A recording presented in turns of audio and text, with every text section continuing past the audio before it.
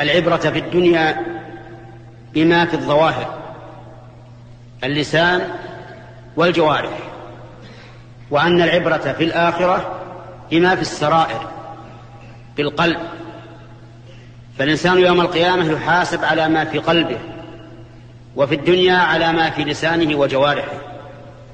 قال الله تبارك وتعالى إنه على رجعه لقادر يوم تبلى السرائر تختبر السرائر القلوب وقال تعالى أفلا يعلم إذا بعثر ما في القبور وحصل ما في الصدور؟ إن ربهم بهم يومئذ لخبير. فاحرص يا أخي على طهارة قلبك قبل طهارة جوارحك.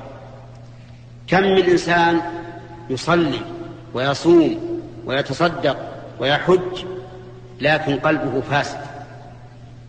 ها هم الخوارج الخوارج حدث عنهم النبي عليه الصلاة والسلام أنهم يصلون ويصومون ويتصدقون ويقرؤون القرآن ويقومون الليل ويبكون ويتهجدون ويحقر الصحابي صلاته عند صلاتهم. لكن قال النبي عليه الصلاة والسلام إن إن إسلامهم لا يتجاوز حناجرهم لا يدخل الإيمان قلوبهم. مع أنهم صالح الظواهر لكن ما نفعهم. ما نفعهم. لا تغتر بصلاح جوارحك. انظر قبل كل شيء إلى قلبك. أسأل الله أن يصلح قلبي وقلوبكم أهم شيء القلب.